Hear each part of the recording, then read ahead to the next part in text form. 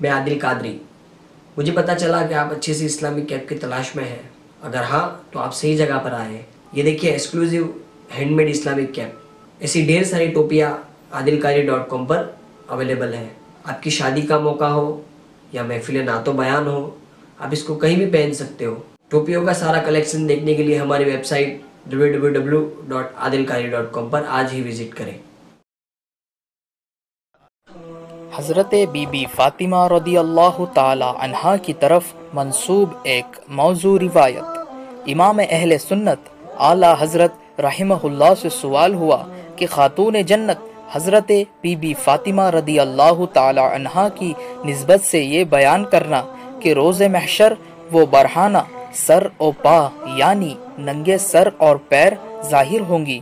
امام حسن و حسین کے خون آلود اور زہر آلود کپڑے کاندھے پر لیے ہوئے اور نبی کریم صلی اللہ علیہ وسلم کے تندان مبارک جو جنگ عہد میں شہید ہوئے تھے، اسے ہاتھ میں لیے ہوئے بارگاہ الہی میں حاضر ہوں گی اور عرش کا پایا پکڑ کر ہلائیں گی اور خون کے معاوضے میں گناہگار امت کو بخشوائیں گی۔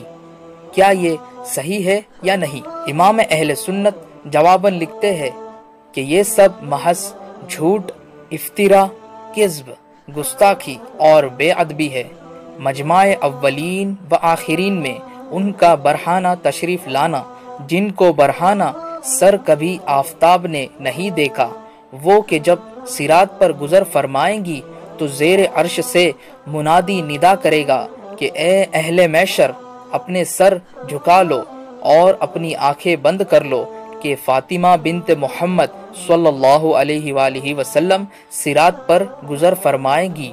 پھر وہ نور الہی برق یعنی بجلی کی طرح ستر ہزار ہورے جلوے میں لیے ہوئے گزر فرمائے گا۔ شہزادی کون ہے؟ سیدہ زہرا۔ شہزادی کون ہے؟ سیدہ زہرا۔